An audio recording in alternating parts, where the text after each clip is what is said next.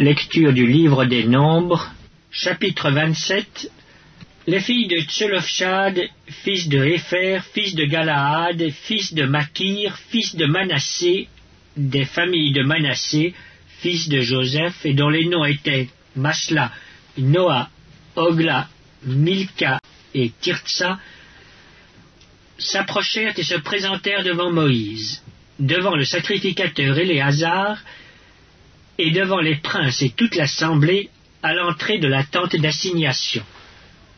Elles dirent Notre père est mort dans le désert. Il n'était pas au milieu de l'assemblée de ceux qui se révoltèrent contre l'Éternel, de l'assemblée de Corée. Mais il est mort pour son péché, et il n'avait point de fils. Pourquoi le nom de notre père serait-il retranché du milieu de sa famille parce qu'il n'avait point eu de fils. Donnez-nous une possession parmi les frères de notre Père. Moïse porta la cause devant l'Éternel. Et l'Éternel dit à Moïse, Les filles de Tselofshad ont raison.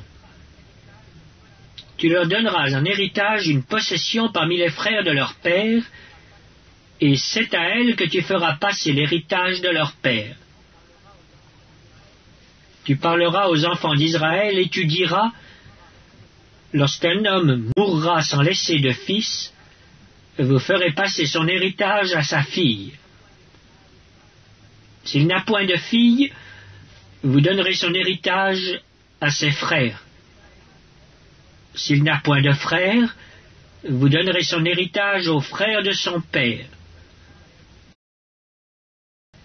S'il n'y a point de frères de son père, vous donnerez son héritage au plus proche parent dans sa famille, et c'est lui qui le possédera. Ce sera pour les enfants d'Israël une loi et un droit, comme l'Éternel l'a ordonné à Moïse. L'Éternel dit à Moïse, Monte sur cette montagne d'Abarim, et regarde le pays que je donne aux enfants d'Israël.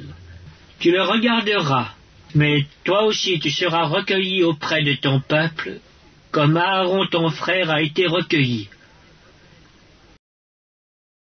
Parce que vous avez été rebelles à mon ordre dans le désert de Tsin, lors de la contestation de l'assemblée, et que vous ne m'avez point sanctifié à leurs yeux à l'occasion des eaux.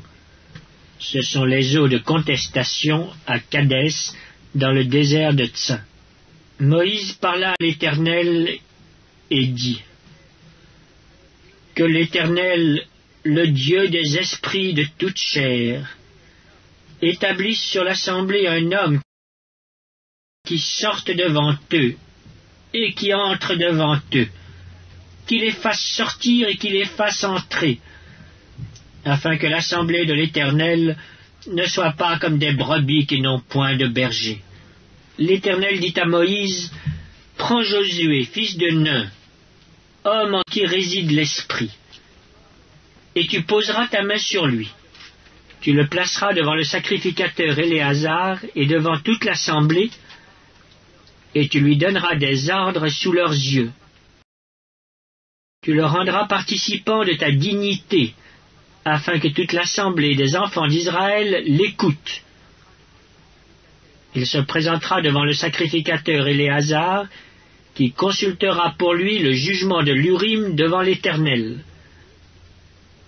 Et Josué, tous les enfants d'Israël avec lui, et toute l'assemblée, sortiront sur l'ordre d'Éléazar et entreront sur son ordre. Moïse fit ce que l'Éternel lui avait ordonné. Il prit Josué et il le plaça devant le sacrificateur Éléazar et devant toute l'assemblée. Il posa ses mains sur lui et lui donna des ordres, comme l'Éternel l'avait dit par Moïse.